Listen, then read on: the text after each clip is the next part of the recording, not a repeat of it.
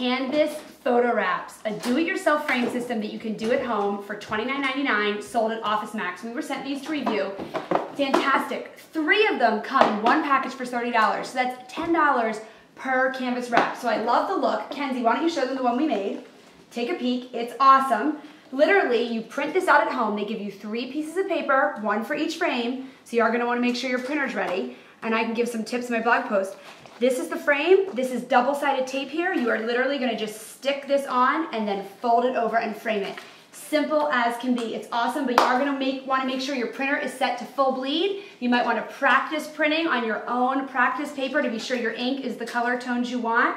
And um, also remember, you're going to lose about an inch when you print this on your picture because it's going to fold over. So think about the pictures that you want to frame before you do it. And Kenzie and I picked my favorite picture of the two of us crossing the finish line at our Disney 5K last year, right, Kenz? Pretty cute. So these are sold at Office Max.